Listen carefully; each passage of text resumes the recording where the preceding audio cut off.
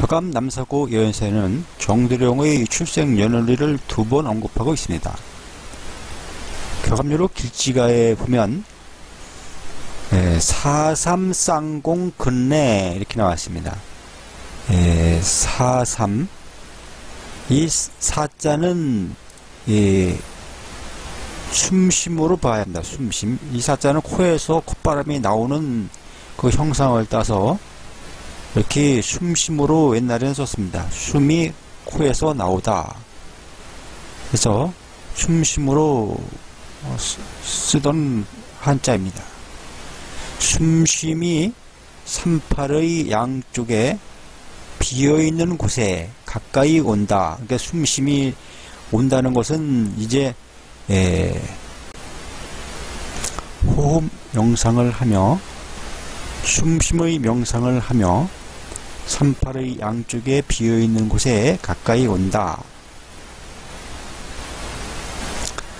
양쪽에 비어있는 곳은 바로 비무장지대를 일컫는, 것이, 일컫는 것입니다. 비무장지대가 지금 북쪽도 비어있고 남쪽도 비어있죠. 그래서 예, 양쪽에 비어있는 곳은 바로 비무장지대를 뜻하는 것이며 비무장지대의 남북의 그 부지를 더 포함해서 설립되는 아리랑 동산 부지를 뜻하는 것입니다. 1968 당시 1968년생이 마땅히 이른다 이렇게 했는데 여기에는 예, 년만 나와 있고 달과 일자가 없습니다. 그래서 이 68년에서 달과 그러니까 출생한 달과 날짜를 유추해 내야 합니다. 그럼 1968이니까 38 공사를 하려면은 38이 돼야 되겠죠. 3년생이 되겠죠. 돼야 되겠죠. 그러면 38의 공사를 하는 이 사람은 몇 년생이냐? 1963년생이 돼야 합니다. 1963년생이 토끼띠이기 때문에 예, 토끼띠가 이 역사를 하고 있으니까 63년생이 되어야 됩니다. 그럼 63년생을 넣으면 날짜는 예, 빼면은 5가 되고 더하면은 11일이 됩니다. 그래서 5월 11일이 1일생이 바로 예, 1963년 5월 11일생이 38공사를 한다 이런 뜻이 되는 겁니다.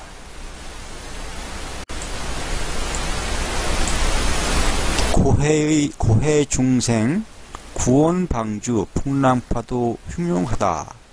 고해의 중생 구원의 방주 풍랑파도 흉흉하다. 이렇게 이제 고해의 중생들을 구원하려 이렇게 예, 정도령 또 예, 미륵불 제르미야서 모든 종교에서 일컫는 그분이 이제 이 예, 출생 연연을 가지고 이제 38 아리랑 동사를 설립하러 이제 38로다가 이른다는 뜻입니다.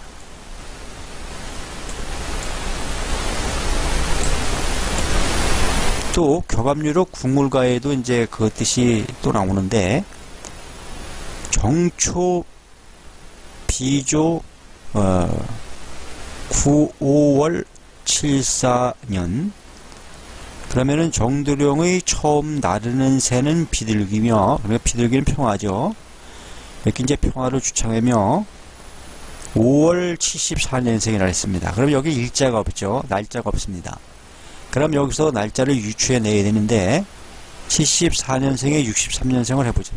해보고 여기서 빼면은 11일이 됩니다. 그래서 63년 15, 11일이 됩니다. 그래서 여기서도 똑같이 63년 11일이 생일이 유치가 됩니다. 이렇게 1963년 6월 11일 토끼띠에 출생한 사람이 천수 소녀 계룡태 그가 하늘에서 받은 고유한 임금 계룡의 금이다 하고 이렇게 일컫는 것입니다.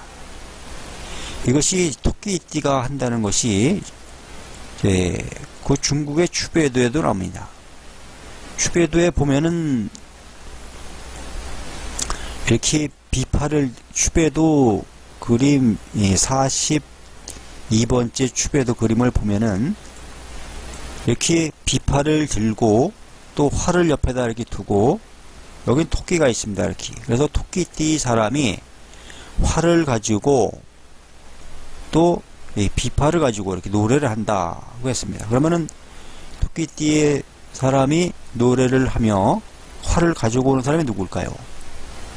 바로 아리랑 동산을 설립하는 바로 자하신선을 뜻하는 것입니다. 자하신선은 아리랑 노래의 그 뜻을 풀어서 노래를 부르죠.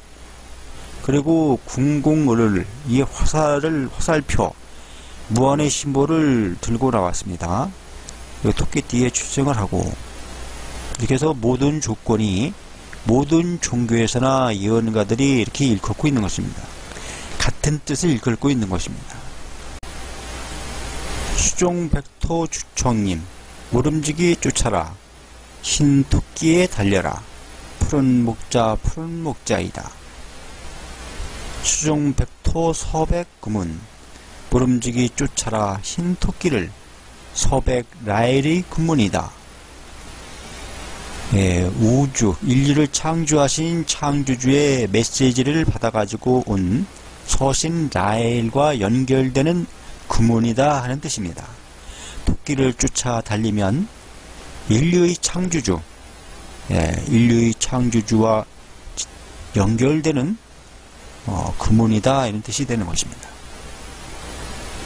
이를 밝게 보시고 이에 따라 이르시 바랍니다. 이렇게 예, 모든 예언사나 경전에서 예, 그분을 나타내고 있으니 이를 밝게 보시고 이에 따라 이르시기 바랍니다. 지금은 시기 질투를 하면은 안 되는 때입니다. 시기 질투는 곧 자기 자신을 예, 낙원 세상 구원의 방주에 들지 못하게 하는 예, 그건 마음씀입니다.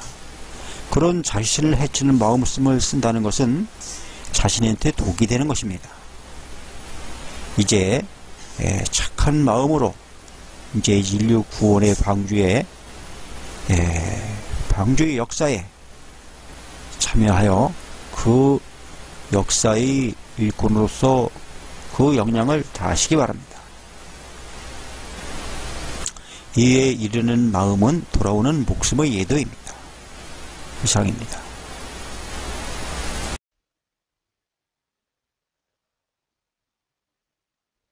증산상제님이 예, 남기신 마련해 놓으신 태울주에 대해서 설명드리도록 하겠습니다.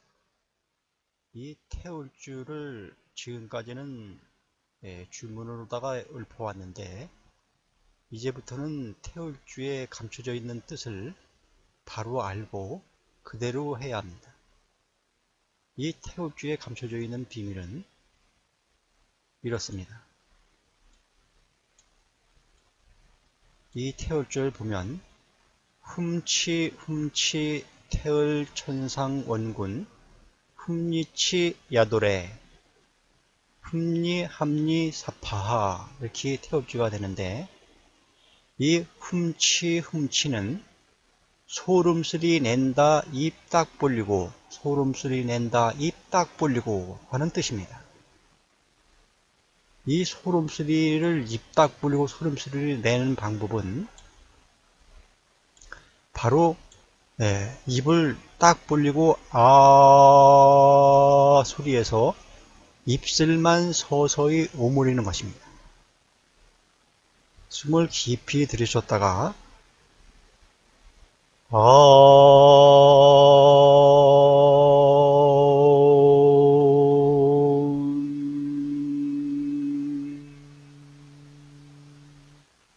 이렇게 아옴 발성 명상이 되는 것입니다. 이 훔치훔치가 아옴 발성 명상이라는 것이 현무경에 아주 잘 나타나 있습니다.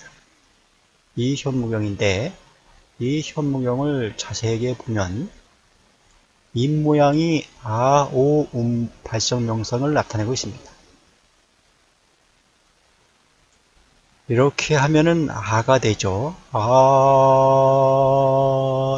입 딱 벌리고 아 소리 지르는 것이죠. 예. 이 입 모양은 오 발음이 됩니다.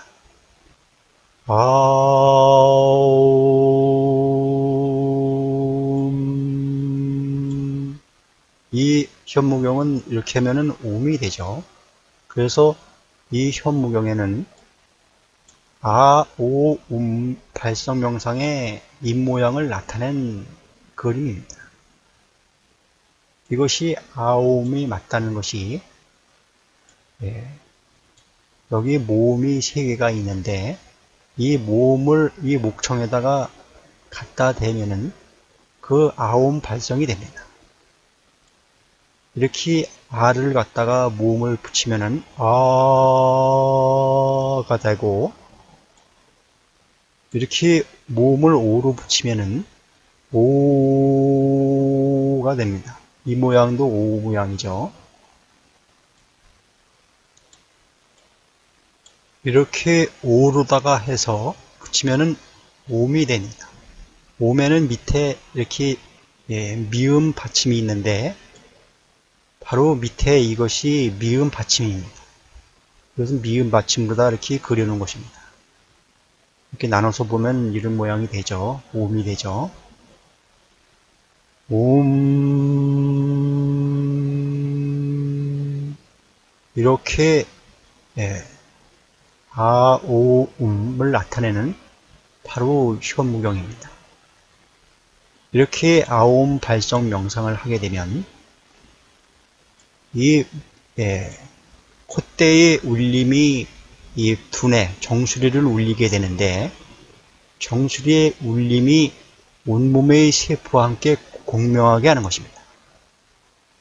이 진동을 온몸의 세포와 함께 공명을 하게 하는 호르몬이 촉진이 되는데 그 호르몬이 두개골에서 이제 촉진이 됩니다. 그 호르몬이 목젖을 타고 흘러내리는데 그 맛이 단맛이 느껴진다고 해서 감노라고 하는 것입니다. 또 두개골 석종수니까 두개골에서 촉진되는 거니까 석종수라고 하는 것입니다. 돌 우물물이죠. 석종수.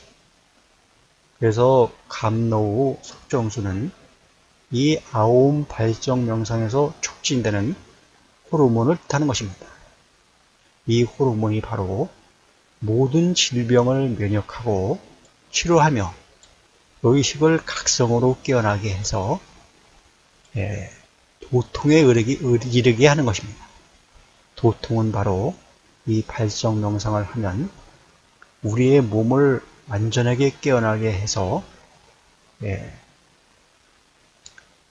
전인적 의식으로 깨어나게 하는 그 도통인 것입니다. 우리의 몸은 수십 조의 세포들로 이루어져 있는 하나의 커다란 메커니즘입니다.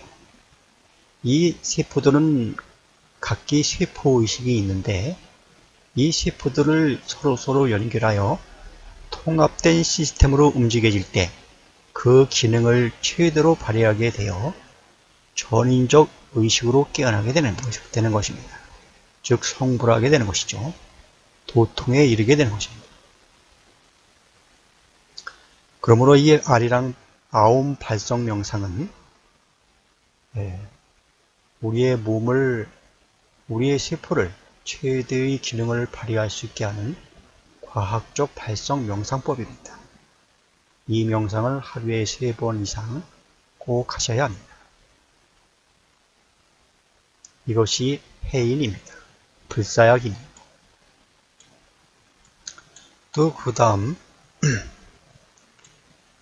태을 천상 원군 흠리치 야도를 했습니다. 큰 새 하늘 위 으뜸의 임금 소름소리 예, 소리내며 어, 소리치며 예수의 도읍으로 온다 이렇게 얘기했습니다. 이것은 이렇게 하늘 위에 으뜸의 임금이 오시는데 이렇게 소름 소리를 내면서 오면서 예수의 도읍으로 온다.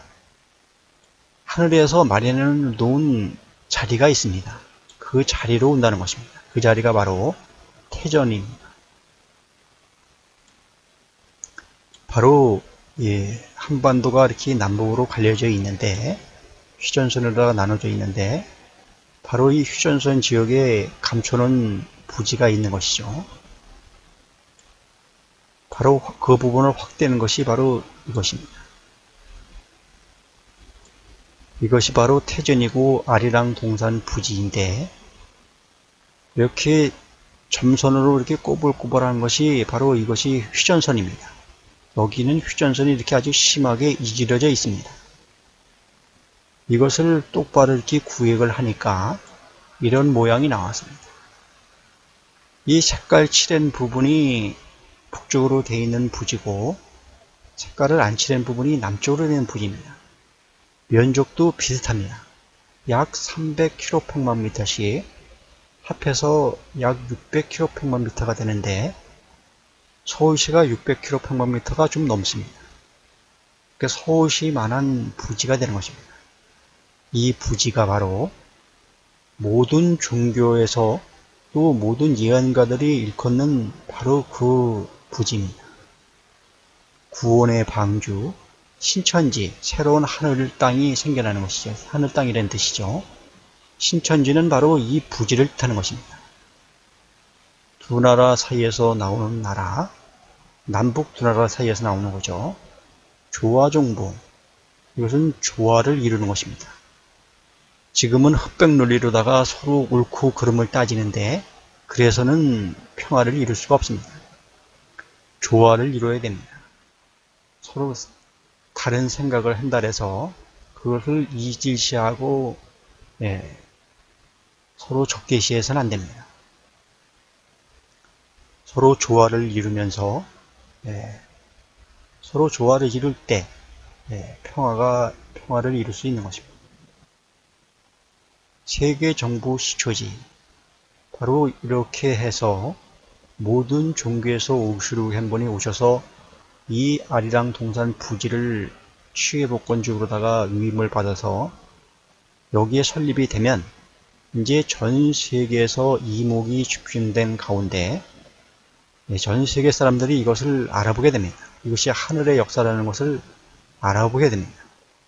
그러므로 해서 여기서 하시는 말씀을 따라 이르기 때문에 예, 모든 나라의 나라 간의 문제를 공평하게 처결해 줄 수 있습니다. 그러므로 해서 모든 나라의 간에 분란을 예, 일으키지 않게 할 수가 있는 것이죠.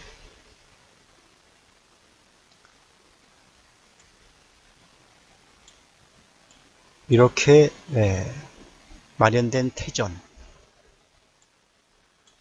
이 태전을 마련하기 위해서 이 이제 말세의 이때에 오시란 분을 나타내는 증표들입니다. 이렇게 태울 줄은 바로 예, 이 진인이 오셔서 펼치는 역사를 나타내는 그림입니다. 흠리 함리 사파하 이렇게 소름소리 낸다 입속으로 소리 지른다 입 다물고 입 속으로 이 예, 함자를 보면은 네이버 사전을 검색해 보면은 예, 함자가 소리칠 함자입니다. 또 담을 함자 함자입니다. 소리치다, 고함 지르다, 입을 다물다. 이 소리치다가 입 딱 벌리고 소리치다가 입을 다문다 하는 뜻입니다. 바로 아온 발성 명상이 되는 것이죠. 그렇게 담은 이 입, 입 벌리고 소리치다 입을 다문다. 그렇게 다물면서 이제 사파하는 이 춤출사, 할미파, 할머니파, 노래한다, 꾸짖는다. 할머니가 춤추고 노래하고 꾸짖는다. 이 춤출 사자를 보면 모래 사자를 썼습니다. 이렇게 모래사 밑에 예, 괴집 여자가 있는데 모래에서 춤추는 여자 바로 초평대에서 춤춘다는 것을 뜻하는 것입니다. 할머니가 초평대에서 춤을 추는데 왜 춤을 출까요? 그것은 이렇게 이제 예, 모든 종교에서 오시란 분이 오셔서 이제 예, 다시 회춘하게 되고 또 죽지 않는 영생의 반연으로 들어가는 사람이 죽지 않고 육신으로 살아서 18세의 육신으로 살아서 영생한다는 것을 할머니가 먼저 알아보고 기쁨에 겨워서 춤추고 노래하고 또 이것을 알아보지 못하는 사람들을 어리석은 사람들을 예, 꾸짖는다는 것입니다. 이렇게 예, 태울 주에는 예, 모든 종교에서 오시기란 분이 오셔서 펼치는 역사를 이렇게 태울주에 예, 담아놓은 것입니다. 그래서 이걸 풀어서 이제 사람들이 알아보게 하는 해서 그 증표로 어, 알아보게 하기 위한 것입니다. 여기서 일컫는 야들의 예수님은 바로 진인이며 정두령이며 미륵이며 모든 종교에서 예언가들이 오신다고 하신 그분을 뜻하는 것입니다. 다 같은 분을 일컫는 것입니다. 이렇게 태울 줄을 풀어드리니 이를 밝게 보시고 이에 따라 이르시기 바랍니다.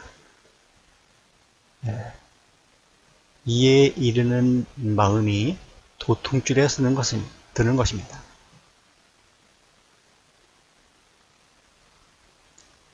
앞으로 질병이 예, 일어나면 예, 이 태울줄을 없는 것으로다가는 질병에 면역될 수 없고 치료될 수 없고 이렇게 여기서 가르치는 발성 명상을 해야지만이 질병을 면역하고 치료될 수 있습니다. 네, 그러므로 이것을 이 참뜻을 바르게 알려드리니 이를 밝게 보시고 이에 따라 이르시기 바랍니다. 이에 이르는 마음은 돌아오는 예, 목숨의 예도, 도통입니다. 이상입니다.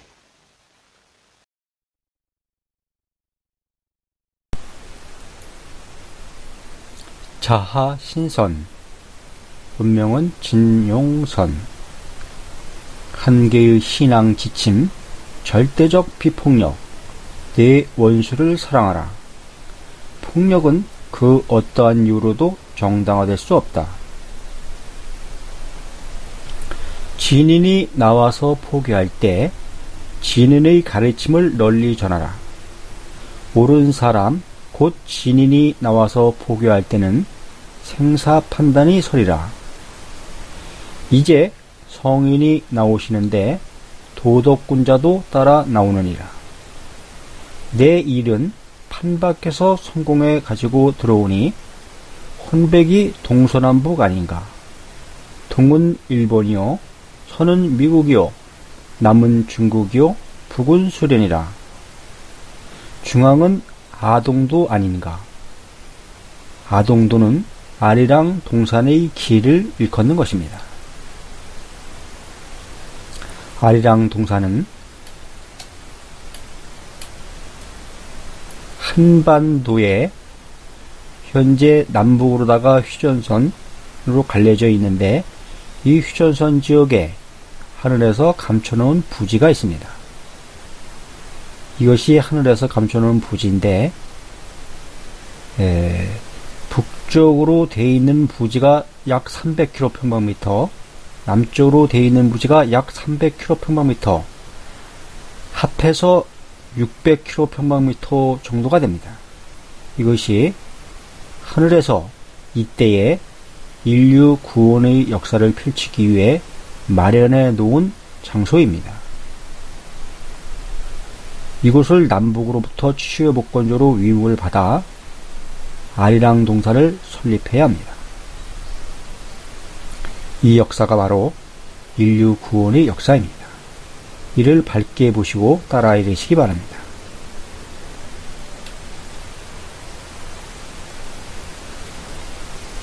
판 밖에서 성공에 들어와야 태모님께서 항상 말씀하시기를 너희들 가지고는 안 되느니라. 판 밖에서 성공에 들어와야 되느니라. 진인이 나와야 하느니라. 나의 모든 일을 이룰 사람이 판 밖에서 나오느니라. 증산 신도가 아닌 사람이 증산도를 이끌 것입니다.